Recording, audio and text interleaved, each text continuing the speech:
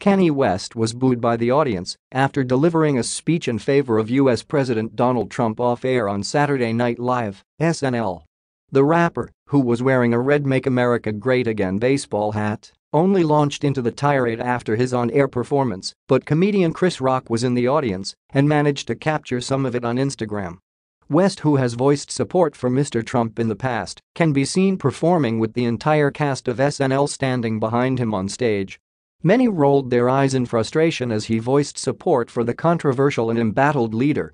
I wanna cry right now, black man in America, supposed to keep what you're feeling inside right now, the 41-year-old rapped. The blacks want always Democrats, you know it's like the plan they did to take the fathers out the home and put them on welfare, does anybody know about that? That's a Democratic plan, he continued. There's so many times I talk to, like, a white person about this and they say, how could you like Trump? He's racist.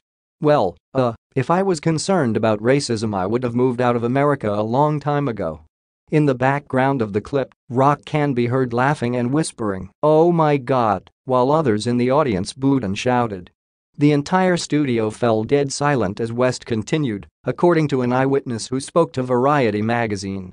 West, who was a last-minute SNL replacement for Ariana Grande, performed his track I Love It with Lil Pump dressed in a Perrier bottle earlier in the evening.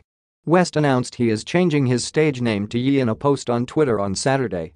The being formerly known as Kanye West, he wrote. I am you